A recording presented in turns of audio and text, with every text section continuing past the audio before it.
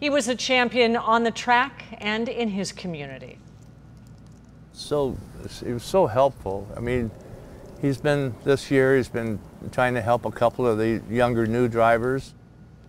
A race car driver from San Diego killed over the weekend after a crash during a race in Yuma, Arizona.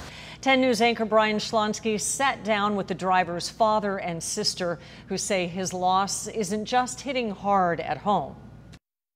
When he would be around the racetrack, he would come to life more than any other place. Come to life and come to win. He was awesome. I was really proud of him. Shelly Hackett looking at a scrapbook of accomplishments, that 44 car, and the decorated racing career of her brother, Mike Corning. We go pretty much any racetrack across this country and and they know who he is. Mike's dad Larry, a racer too, the family traveling the country together collecting wins and memories. I'm getting to the point where, you know, the racing career is pretty much over and and so it was I, I still raced through his eyes. So it was no different this Saturday. Larry watching his son speed down a Yuma, Arizona track. Only this time would be the final time.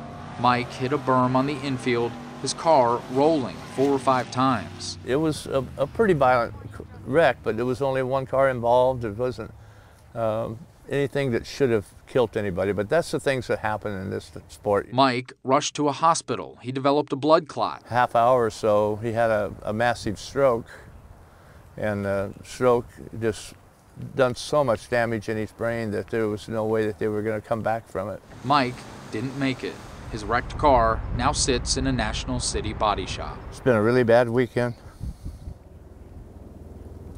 It's really, it's really, really, really hard to talk about it. His family, not the only ones feeling the loss. Mike was known to help younger drivers, was even mentoring two the day of the crash. We're a pretty tight community, the San Diego racers anyway, because, you know, we're kind of a dying breed out here. A community now mourning the loss of number 44. It's just like a a nightmare. Brian Schlonsky, 10 News.